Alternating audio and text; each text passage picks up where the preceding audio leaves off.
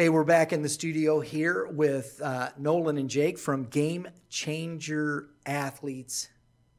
And we've got a great show for you. We're going to be talking about coaches today. We're talking about the 10 strengths of a game changer coach.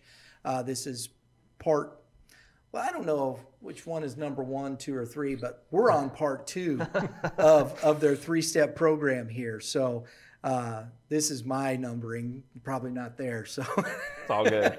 They're all It all works the same all way. works, yeah, so- it's all important. there you go. So today we want to talk a little bit about uh, coaches and how uh, their role is defined within uh, what you guys talk about here as um, the effective nature of, of a coach on the athlete's, you know, growth and development, right? I'm going to read them off. I'm going to read all 10 of these. Again, you can go to gamechangerathletes.org and find this.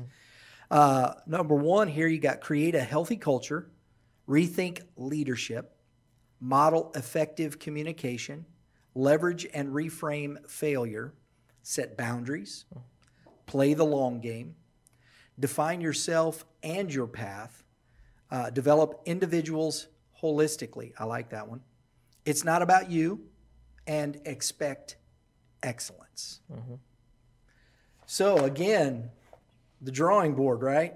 Right. it's a lot of content, right? Yes, it is. A lot of content. That is, and there's a lot of depth in this content, Nolan. Mm-hmm. I mean, how do you guys get through this in a? Yeah. You can't get through this in a short amount of time. Right. Yeah. It's so it's not easy, easy being a coach. There's so many demands, mm-hmm. right? Whatever setting you're in, whether it be a club setting or or a high school, and we just feel we feel for the coach uh, that they don't have a ton of time to cover these things, and so if they want to bring us in and and have a a workshop or any type of uh, format where we can just take one topic and help and help explain, you know, what uh, what that means to us and how they can be a better coach. You know, we feel that's part of our part of our role. Uh, so you know, excited to talk about a few of these, but uh, again, it's just it's not easy being a coach because your focus is on the field. You have Oh, X amount of time to prepare for a game and, and work on skills and drills. So meanwhile, we have the time to to look at these things, analyze them, and and approach kind of the the all important uh, you know soft skill, leadership skill side of sports. Being a coach is hard. it's hard, and I mean, we've all coached. I, I coach at Westminster baseball, and um, a big part of what we do with our coaches, and, and we're part of a couple school districts where we do workshops with the coaches, is you know, they need the time for encouragement too. Mm-hmm. and and being built into telling them that hey you're doing a good job you're doing a great job um, no matter what anyone says and you know you, you put a lot of time into this and it doesn't get seen uh, you're away from your families. Um, you're you're with these kids when you're in season 100% of your time. When you're not with them on the field you're putting practices together or getting ready for games. Like when people think like oh you're a coach mm, that's not a very hard job. That's a hard job. Yeah. it's yes, a hard it job. Um, and they don't get paid very much. And that's a thing that um, people miss is the time commitment and the financial piece that they're getting to it is not much Right, unless you're at the right. professional level Right. which that's a very small number Yes, it is. um, so you know, we we love to take a lot of the time with these coaches um, and build into them and, and let them know that hey, they're doing the great they're doing a great job and they're important. So That's awesome. That's all because, you know, you started off with create a healthy culture, and I think that that right there just kind of speaks to that, doesn't it? Yeah. You know, you're important. You're important to what you're doing. The kids around you, you know, it's it's and giving them that thought process. You know, stay there because it is creating a healthy thought process Absolutely. within the whole dynamic of coaching. Mm-hmm. First off, I want to talk to you guys a little bit. You know, again, we're we're kind of staying. I'm I'm a big I'm big on communication, and you have here model effective communication. And so, how do you model that? What mm. is that? You know, I think the the way you said that there. What is a model of effective communication? I can uh, start. you go ahead and I got stuff too. So, Yeah, we go both ahead. got Yeah, I'm sure we on got the same thing. So right? Uh, so you know, an athlete's impressionable, right? A, a coach is in a natural role model position, and uh, you know, for instance, if you're always talking down to the athlete, if it's always a one-way dialogue, uh, you know, you'd be surprised how many athletes are going to start to think that's the way it should be, Sure. right? And so you have to be cognizant of the fact that you're always being observed, right? And these are and these are individuals who are going to learn how to communicate partially from from you. And so, you know, opening up a healthy dialogue and putting both people on, you know, there's a time to be a coach and say, this is what you need to do. These are the expectations of the team. You know, that that's its own thing. But uh, there's a lot of times where you need to be on an even keel with with your athlete and have an open door and make sure that they have the opportunity to express themselves. And also, there's other aspects. I mean, it's allowing the athlete to be a leader within their team. You know, so it's encouraging them. How can you communicate to uh, the defense or the offense or you know whatever faction of the team, right? Because there's so many opportunities, but you have to you have to embrace that. You have to make it a goal. Yeah, yeah, absolutely. Um, that one kind of hit home to me because the last podcast we did or webinar, um, I had a mom ask me that her son um, was very laid back, um, very good. Yeah, he's a good. He's a good ball ball player, pretty athletic. Um, but she was like, "How can he be more of a leader on the field?" Right. and um, you know by his words and his actions you know his actions speaks speaks louder than words so um, i think it just starts from the starts from the beginning and we've said it a million times is you know you, you ask good questions to the athlete um, you know nolan said uh, there's a time for development uh, there's a time to correct something mechanically in a pitcher or shooting mechanic or hitting the ball or anything like that. But then it comes down to, um, you know, there's there's a lesson from really anything, Mm-hmm. uh, and it's just asking those good questions, connecting uh, with the athlete. And and Nolan said it again. It, they, you know, if you create a, a one street dialogue, then the athlete's not going to get anything out of it. So, you know, at the same time, you're in a leadership role, but um, you're wanting to deeply connect with these athletes and and and um, Do you think that when you're when you're talking, if you're modeling effective communication, and you guys keep talking about asking good questions, right? Because we're not clairvoyant. A coach is not a mind reader. And so, do you really know what the athlete is thinking? And the only way you can really know that is to model a question to where you believe you can effectively get the response you're looking for to help the athlete, right? yeah, Sure. So it is definitely. I love the way that you guys put that uh, model effective. And if you're going to be a coach, I think that that that has to be a huge factor in how you do. Because to me, communication starts the whole process. Mm, mm-hmm. It is the the stepping stone to to everything within leadership, culture, all that. Because if all three of us are just sitting here staring at each other. Hmm. Not gonna be much happening, right? No. We won't know. People are just like, well, these guys are idiots. Yeah. Turn that off. Right. Right? So everything starts with the communicative context of Mm-hmm. the relatable context of what we're trying to all move towards. Mm-hmm. Right. So modeling that communication towards the person to get the response, not that you're looking for, but what you need in order to help the student athlete. Yes? absolutely. Yeah. Yeah. I think that's huge. That to me mm-hmm. is huge. So I, I mm-hmm. love this part of that with mm-hmm. coaches, and I think I, I hope that coaches are thinking and looking at that stuff, and uh, because you put here establish a system that encourages athletes to be the primary drivers of communication.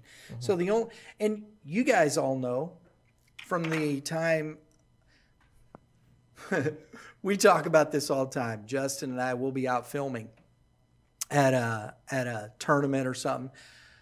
You got these 9, 10, 11, 12 year olds just having a big time talking, flapping gums like nobody's business, right? You turn the camera on. uh, yeah. Uh, yeah. Because there's something, that mechanism there, they don't know how to relate to that. So finding that that relatable communication, I think, is is huge in getting the athlete to come back 100%. and really trusting the communication, right? Yeah. Trusting that system that say, I can say this. Mhm. I can communicate to you in a in a way that uh, we can relate to each other, and I know you want to help me. Yeah. And I think that's a huge, huge thing here, guys. I really do. Yeah. Yep.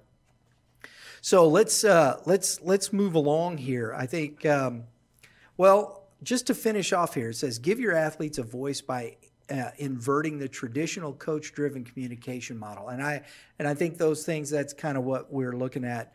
So coaches, really, I think this is huge part of it. Um, I'm going to take a big leap over to this last one because it, these and these are all things that when I read this that stick out to me. So th- there may be things that when you look at this as a coach might be different for you and things that are different important to each person. But I'm asking the question, so I get to, I get to do this. But uh, at the end here, expect excellence. Help athletes see what they're capable of and expect nothing less. When they fall short, be the first to pick them up. Now, I think that's a interesting thing to put there because I don't know that we we we really do that, especially in our our our culture today, where hmm. everybody's supposed to be the same. We all get a trophy. Um, I said that out loud. I know. I know that's not necessarily. We're we're not going to get into that, but mm. you guys know what I'm talking about. Mm. Yeah. But here you put expect excellence. That's that's a tough thing sometimes. And mm-hmm. how do you how do you create the trust to where they they believe you can expect that from them? Right. We're not afraid to say that, right? So our, our mission is growth and development. Mm-hmm. You don't grow unless you get out of your comfort zone, mm-hmm. right? And and so providing stretch goals to an athlete, just like when you become an employee somewhere, you're going to have something that your immediate natural reaction is, I'm not crazy about it. That's the way it's supposed to be, right? That, that's a human instinct to see something and say, eh, that makes me feel uncomfortable. Yeah. That's when you grow, right? Yeah. And a coach is in a unique position in a in a let's face it, you know, a safe environment at sports, right? If you're if you're eight, if you're ten, if you're thirteen, um, it's not life or death, but it's a great proving ground to figure out, you know, do I want this? Am I willing to work for it? And here's somebody that's going to help me get there. Uh, but it's you know, there's no sense in putting the time and energy into it to just to just be average. That's Yeah. the way we feel, and we're and we're not afraid to say it. So you know, it's it's about achieving your full potential. It's not about hitting for a certain average. It's not about uh, you know being better than a teammate or an opponent. Uh, you're there to win, but it's about reaching your potential. And the best coach is the one that assesses everybody's level and they figure out you know the goals for uh, this athlete. They're different than my than my next guy, uh, and and I'm going to help you get there. But you know that that expectation has to come pretty early and has to be clearly communicated. Right, know? right, right. I'm I'm good. Good. Go ahead. You know, uh, let me I let was gonna jump in, but I'll, I'll jump in in a second. Yeah. no. Go ahead, please jump right in. No, there. it's okay. It's all right. All good. All good. I want to because you you will we go back and forth, and I think this is tough because you know it could be confusing to people at times because we talk about wins and losses, but any sport is based on wins and losses. Otherwise, there's no reason to keep score, Right. right? Sure. So, I think one of the tough things is is how do we build an understanding of what winning is? Mm. Would you agree? Yeah. Mm-hmm. And so if there's an expectation of winning, what is what does that mean? Is it simply just a result on the scoreboard? And personally, I don't think so. Mm-hmm. Mm-hmm. What do you guys think about that? No, um, I agree with that, uh, or I don't agree with that. But um, I coach at Westminster, like I mentioned before, and you know we have a we have a meeting every year, and right before our season, and we just talk about expectations of the season, and uh, we expect excellence, uh, and that's the the program that was created by Rich Van Gils, who was the coach there for a long time, and I played there, and you know he expect excellence from us, and that wasn't just the result on the scoreboard. That was um, Rich and and my dad and Andy Bennis and a couple other coaches that we had that um, you know showed us what it was like off the field to work hard um, to get that result on the scoreboard, uh, whether it was there or not at the end of the day.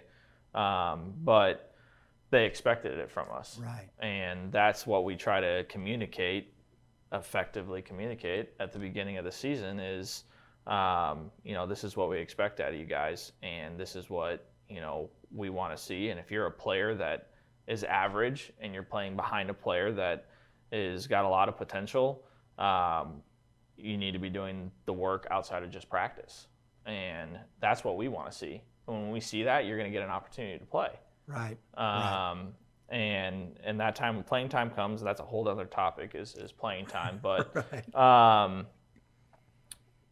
the other part that hit me in here was when they fall short. Um, and uh, that's a, one of our big topics with athletes is harnessing failure.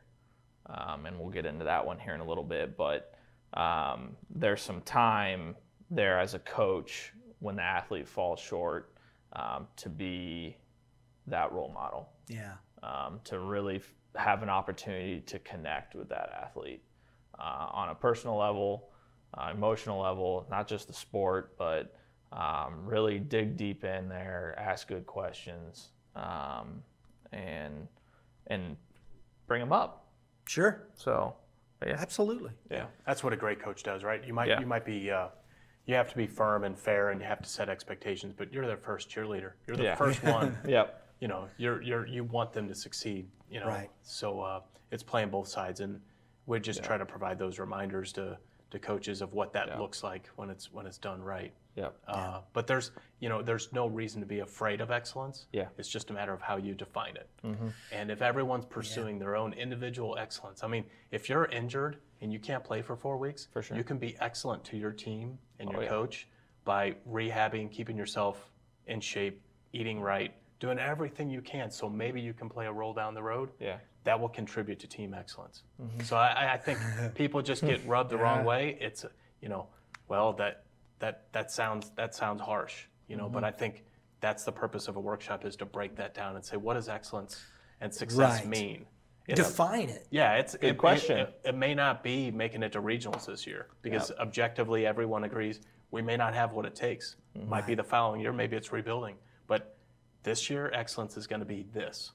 That's it's the definition. effectively setting goals to meet that challenge, isn't Yeah. it? Yeah. That's And you know, when you get into that, what you guys are talking about is really just the attitude of the individual. yeah, What kind of attitude are you going to have? And I really believe personally that's what winning is. Mm-hmm. Because results are you as an individual, what's your attitude, and how are you effectively uh, bringing that attitude within the scope of the game, of the business, of whatever you're doing in that moment. Because we all know we've played. You lose uh, baseball's this way, crazy. If we're just we just talk about baseball, you know, one play, boom, a hit, three two, you tip your hat. That kid just made a diving catch. You know, uh, well, for instance, here's a story because uh, my both my kids went to Fort Zumwalt East, and I remember I think it was 2011. They haven't been around a long time, but they're playing Francis Howell in the district championships. Okay, and I think 11 was one of Coach uh, Perkins' championship years. yep, East had uh, the bases loaded. Bottom of the seventh, I think it was, whatever. It was, yeah. Justin's over there. Give me, he's he remembers this, but I I don't even remember who's up. Smoking line drive, base load. I mean, it had cleared it. They win, whatnot. Kid from Howell snatches it out of the sky. Game over. the pitcher. I don't think it was a pitcher. Oh, okay, No, am I wrong? It was two to one in the bottom of the seventh. It was a triple play. Triple They play, had that's no right. outs, two to one. No outs, triple win. Game, and that's how it ended the game. I mean, you have to have the right Oh attitude as a person gosh. to deal with that. yeah, Agreed? yeah. Exactly. And the coaches and whatnot, because that just rips your heart out, Oh my gosh, right? yeah, But you can't. You got to tip your hat to those guys. Mm-hmm. You have to. You have to tip your hat to those guys because they made one more play than you did. yeah, Right. That's, That's what makes it. the game fun, right? Yeah. Because there's a bunch of other people that are doing just Yeah. what you're doing, trying and competing. Yeah. Just happens to be in the opposite direction. yeah. That's what makes it fun, and that's what a game changer athlete thrives on. Yeah, and Yes. uh, there's there's a great opportunity for a coach on the losing side to Oh. have some very powerful words for his team. Yes. Yeah. and that's what it's all about right there. Absolutely. And I had that same exact experience as a young coach. Uh, it was like my first year coaching at Westminster. We lost to get to state on a bases. Uh, uh, yeah, he walked the guy with the bases loaded on a tie ball game, Oh man. and it's just like I, I, I didn't even know what to say. and like Right? yeah, I was like, I mean, I was a young, immature coach, and um, I, I didn't even know what to say. I don't even remember what I said. But And I, and I understand but that. there's an opportunity right there to be a, um, like Nolan said, an amazing role model Yeah. to these coaches. Uh, and again, coaches, parents are facilitators, coaches are facilitators to these athletes in Yeah. growth and development. And that's what we try to push to these guys is um, they're they're playing an important role in these kids' lives. And uh, I was part of FCA growing up, and there's a stat out there that you know a coach will positively affect a kid's life out of they uh, they positively affect. I'm trying. I can't remember the words I'm saying, but More they so have the most. other- Yeah, yeah, than anyone else. Right. A coach, a coach Right. does. So um, they have the most influence Yeah. uh, Yeah. than, than anyone else. So you're at an opportunity here to, to make a positive impact, and uh, you know that's what. That's Are what you we're trying to do. prepared as a coach? Are you prepared for that? Yeah, Exactly. absolutely. And I, I Yeah. and honestly, we can we can sit here. I know at times in my life, in in situations like I haven't been prepared, Mm-hmm. and so and I think this is where, and we'll finish this up today, guys. This is where you as a coach, I mean, take that time, Hmm. get in touch. GameChangerAthletes.org. Get it. Get these guys. You know, get some workshops, some coaches together. I think that we need coaches that are ready for those opportunities Hmm. because I don't care what you say you know, a situation like it rips your heart out as a player. Mm-hmm. It does. And you got to be there as a coach to help them understand life's not over. You know, yes, did it hurt? But here we, we can move on this way. And this is how we learn. And this is how we understand the game of life. Right. That's it. Hundred percent. Yeah. Well put. Yep. So, guys, again, thanks. And uh, you. remember, coaches, take a look. And uh, we'll be back with a final segment with the athletes here uh, on the next episode. Stay tuned.